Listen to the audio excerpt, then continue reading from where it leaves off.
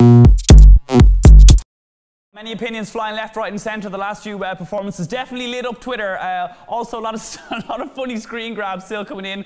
We have uh, a few here. Let's have a look. People getting creative now. it's Kian and Mr. Burns. Who else we got? Uh, a bit of an alien head. I'll move swiftly along. Um, there's Bressie looking. That's pretty normal for Brez, I think, actually. Uh, another Bressie creative. Can we get a bit of a close up on that?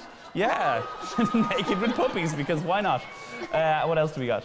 Oh, we're going to come back. Oh, Kathryn looking very flattering as well. Now, I'm here with Jamie and with Sarah. Hello. Hi. Sarah, I'm going to come to you first because you're, you're a very humble person. You're very lovely. Um, someone says you were uh, Sarah on Twitter. No, Mr. Sean says great control, amazing power, understated but utter perfection. Now, Oh. a lot of people talk about your song choices being a bit different. Do you think keeping with the songs you like, you can get to the final?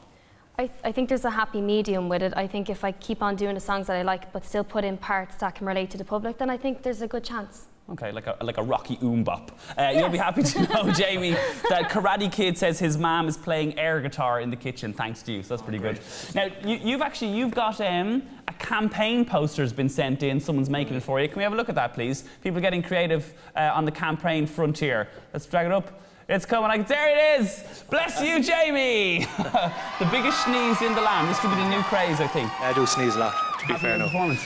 Uh, yeah, happy enough with it, yeah. Kind of, I just wanted to kind of get energy out there. So. The two most humble people on the couch right here, Kathryn. Back to you.